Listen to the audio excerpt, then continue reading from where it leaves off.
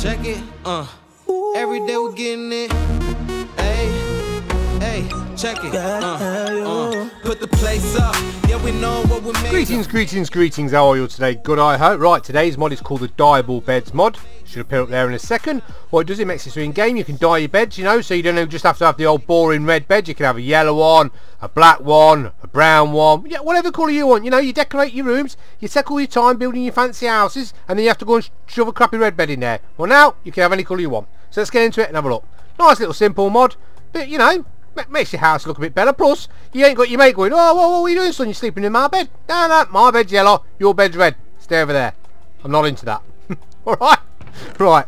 So there's a couple of ways you can do it. Wood at the bottom like would make a normal bed. Then use the first two wool, like that, uh, whatever colour bed you want. Even it's me today, I'm stumbling over my tongue here.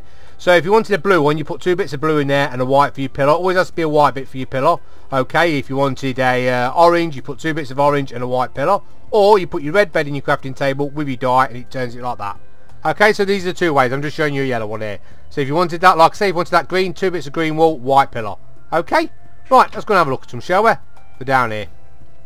So yeah, like I say, you decorate your rooms, you make it look nice, then you're going to have to put a crappy red bed in it. Now, you can put all these colours in.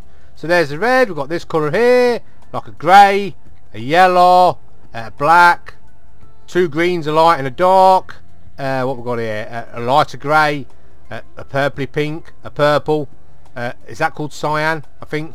I'm not too sure.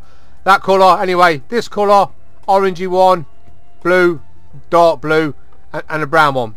Me personally, it looks like you had a bit of an accident in that bed or you've had a bit of a bad stomach. But, but there they all are there, you can see them. Let me just it up here so you can see them all. Pretty cool looking, to be honest with you. Not bad at all. And that's all there is to it. Nice little simple mod, like I say. You decorate your rooms now, your, your orange room, if orange is your thing, or your green room, if green's your thing. And now you can put your green bed in there. So uh, there'll be a download link in the description.